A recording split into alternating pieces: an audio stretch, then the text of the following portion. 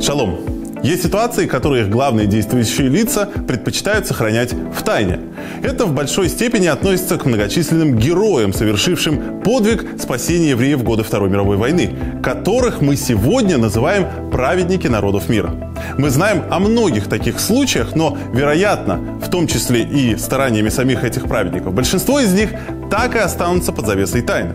Но в чем суть этого феномена? Тора предлагает нам необычный ракурс, с которого следует рассматривать этот вопрос. Итак, во всех еврейских храмах во все времена стоял золотой жертвенник, располагавшийся в самом центре святилища. На жертвеннике совершалось искурение благовоний.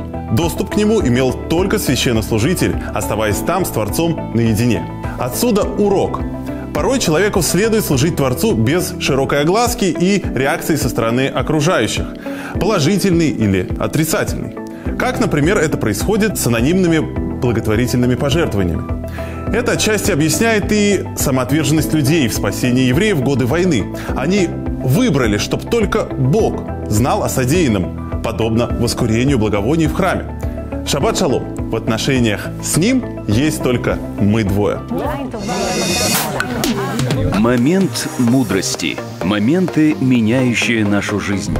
Ставьте лайк и подписывайтесь на наш канал –